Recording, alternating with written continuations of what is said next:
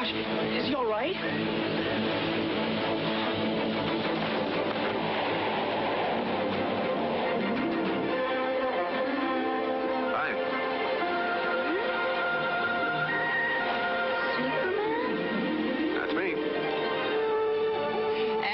Christopher Reeve. His portrayal of the Man of Steel has been, of course, stealing the hearts of America for a trilogy of Superman man movies.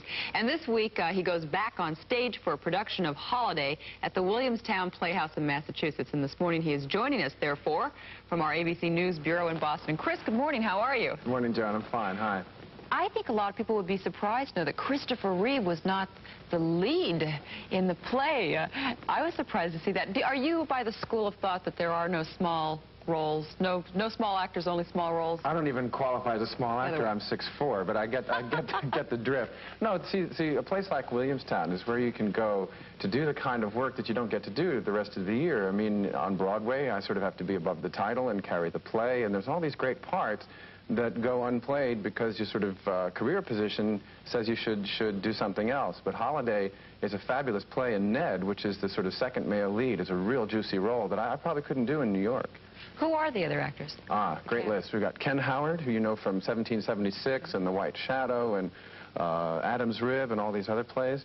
Uh, Blythe Danner, who uh, has been described as probably the most underrated actress in this country, which is certainly true. And Marisa Berenson, Jerome Dempsey. Uh, that's just the opening play. Last year, Richard Dreyfuss was there and Frank Langella.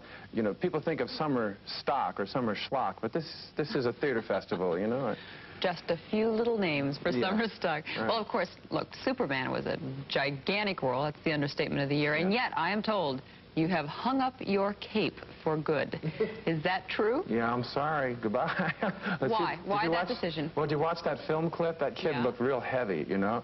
I'm, I'm Oh, getting too on. old. I can't pick up children anymore. Uh, I think that I believe in a certain, uh, honestly, in a certain kind of integrity of the material that as things get spun out into too many episodes, the quality in, inevitably is going to go down. And I think that we've done three very diverse, uh, uh, original films, and uh, we should sort of quit while we're ahead rather than flog it to death, you know?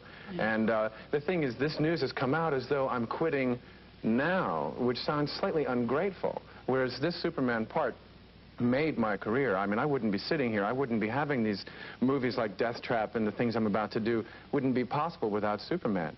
But my decision to, to, to, uh, to leave Superman also was made in connection with the producers, with Richard Lester, with the writers, and we felt back in 1981, after we finished Superman 2, two this is a two-year-old news, that with Superman 3 we'd finish it. So it's untrue that I read one critic said somewhere it was only after he read his reviews of Superman 3 that he made that decision because the reviews, quite honestly, weren't as good as the first two. Well- That's not true. If I may just say, I mean, this is something like I'm blowing my own horn here. Some reviews for the film, people didn't like the way the style of the film had gone. Most, most, most of my reviews sounded like I called the people up on the phone and asked them to take dictation. Um, That's So I did fine. No one said Chris Reeve can't cut it or looks like a turkey, you know? You know, it, it seems like always your reviews are terrific, but some of the movies that you've chosen really don't seem to live up to your performance in them, like like Monsignor. I mean, it, it came out with all this big publicity. Everyone Yeah. expected great things. What happened?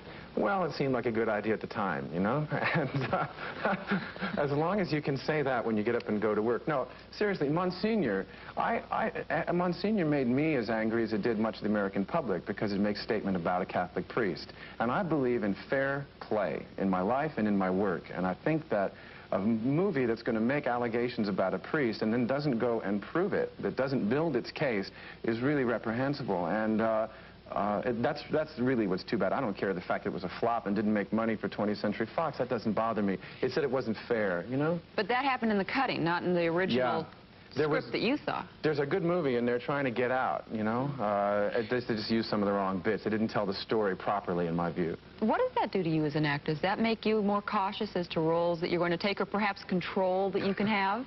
Once you've hit your, hit your head against a wall, you, you learn to dig a tunnel, don't you? Uh, no, the thing to do is, is be more careful about what the intentions are of the people you're working with. Like, are, are we all doing the same thing here? Do we all see this the same way? So I think that what you have to do is curb that initial rush of enthusiasm and think, am I making this with the right people? Do we all have the same motives? And then, and then go to work. And have trust in them. Chris, thanks, and it's nice seeing you again. Good luck up there at the Williamstown Playhouse for. Holiday. Thanks a lot. Okay, we'll be back in just a moment.